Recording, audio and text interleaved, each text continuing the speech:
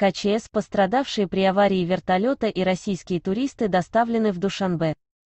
На данный момент спасатели планируют мероприятия по транспортировке тела пилота вертолета. 6 августа при помощи вертолета Ми-8 пограничных войск ГКНБРТ были эвакуированы и доставлены в Душанбе 10 человек, 6 российских туристов, 2 члена экипажа разбившегося вертолета и 2 сотрудника туристической компании «Памир Пик». Все эвакуированные на данный момент находятся под наблюдением врачей. Об этом «Азия Плюс» сообщила начальник пресс-центра КЧС при правительстве РТ Умеда Юсуфи. По ее словам, на данный момент спасатели КЧС совместно с сотрудниками пограничных войск планируют мероприятия по транспортировке тела пилота вертолета, совершившего жесткую посадку на высоте более 5000 метров над уровнем моря.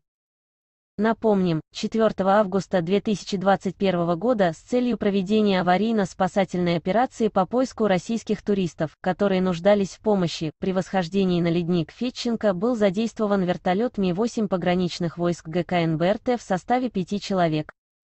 Около 12 часов 10 минут вертолет исчез с радара.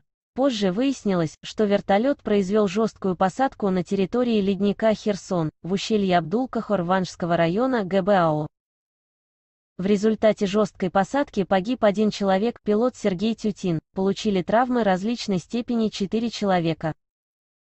На этом все. Подпишитесь на наш канал и узнавайте новости первыми.